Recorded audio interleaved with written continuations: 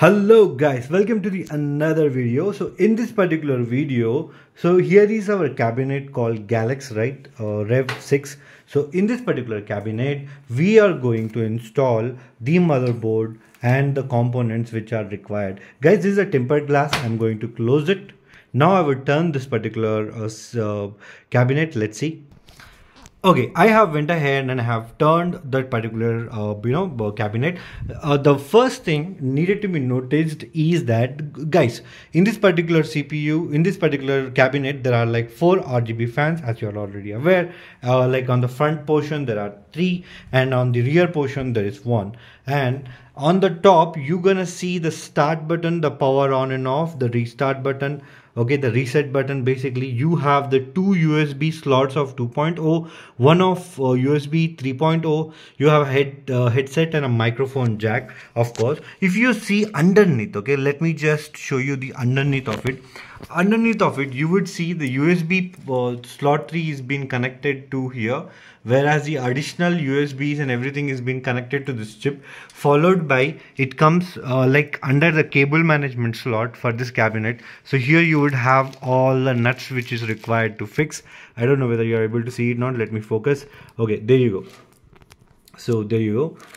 I would be able to show you.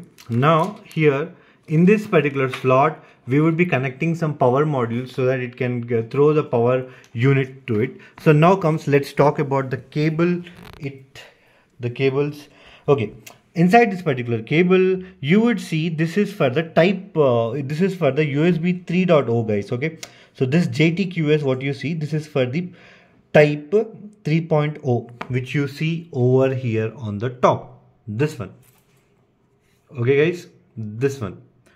Now here you have the HD this is nothing but the HD audio to have the audio particular power on on it.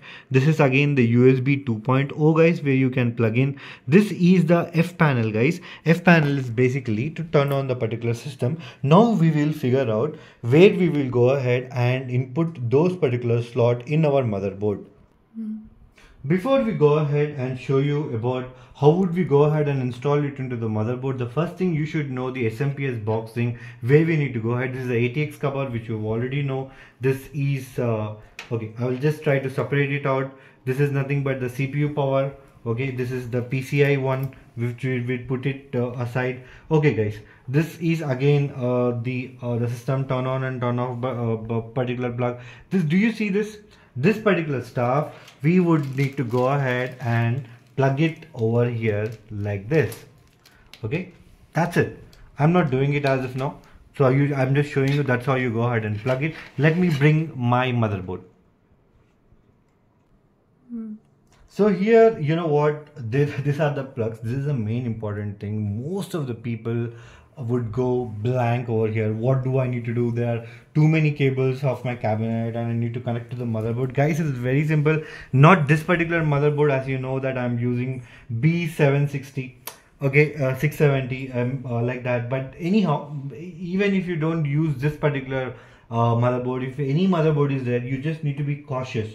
Okay what what i mean is like see there's a hd audio do you see this j audio one jack? And you see this particular one two three four five pins? One pin is being blank over here. There are just four pins. Under this i would see the same thing. What i would do is i would just simply go ahead and i would attach this here. That's it guys. My audio plugin is being done. Right now i'm not i'm doing it softly because i need to install it down there. I'm showing it from there. So this audio jack audio jack comes over here like this you will plug in hold it tight it will be done. So next particular is usb type 2.0 so do you see this particular slots over here written as usb 1 and usb 2 so under this particular usb 1 there is one particular slot is missing and it is matching with this. I would go ahead and i would install this like this.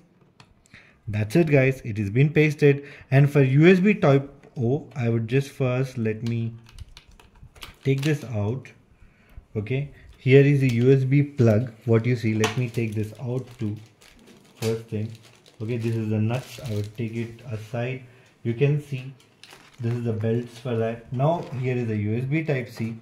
Uh, we will do a proper cable management. Uh, later i would show you. Do you see this 3.0 do it see do you see jusb 3 you just need to plug in over here. Like this guys. Sorry for that. Yeah.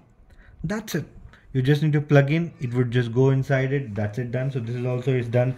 Okay now comes the main part. The main part is nothing but the f panel guys. F panel is something you would see one slot is missing and one down here. This is fp1 f panel 1 basically okay? F panel fj fp1 so here you would see like this and you just need to install this.